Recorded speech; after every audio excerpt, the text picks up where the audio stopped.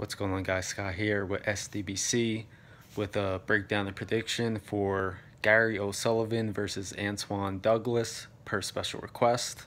This fight is on Saturday, uh, December 16 as the co-feature to Billy Joe Saunders versus uh, David Lemieux on HBO. I did my breakdown and prediction for that fight.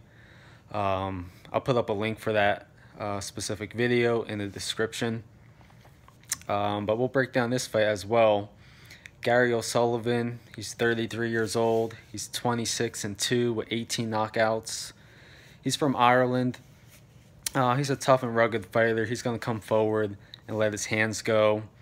Um, he's pretty aggressive. He has a pretty good left hook, especially when he digs it to the uh, to the body. Um, and his punching power is pretty decent as well.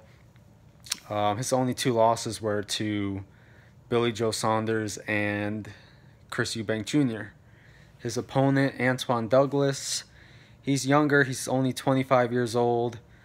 Um, he's only had one loss. He's 22, 1 and 1 with 16 knockouts. He was featured on ShoBox a few times. Um, you know, he's still learning. He's still coming up. He's technically sound. Uh, he's a pretty good technical fighter. He's going to look for the counter punching opportunities. He's going to look to place his punches. Uh, I think he's a little quicker, and I think he has a little more power. Now, if Gary O'Sullivan can make this a rough and tough fight where he could back up uh, Antoine Douglas to the ropes and land those combinations and throw shots to the body, it could go his way in this fight. Um, otherwise, I think Antoine Douglas, if he controls the pace of the fight, if he could neutralize some of the attack of Sullivan and, you know, just have a good jab and counter punch effectively, I think he could win the fight as well. Uh, my prediction for the fight um, will be that Antoine Douglas will win by unanimous decision. You can see this fight as experience versus youth, and I'm not just saying that um, because of their age. Sullivan definitely has fought better opposition even though he lost a couple of those big fights, he still definitely learned from it. And Douglas only had that one loss.